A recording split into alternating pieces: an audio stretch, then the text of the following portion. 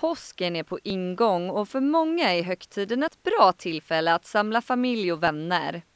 För stjärnkocken Leif Mannerström ska påsken såklart firas med mat. För GT berättar Mannerström att den röda tråden i hans påskmåltid snarare är gul.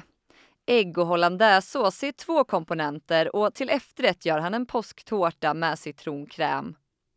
Och det finns några saker som måste finnas på Mannerströms påskbord. Någon form av sill, lax och eh, lamm. Och förutom mat ska stjärnkockens påsk också innehålla avkoppling.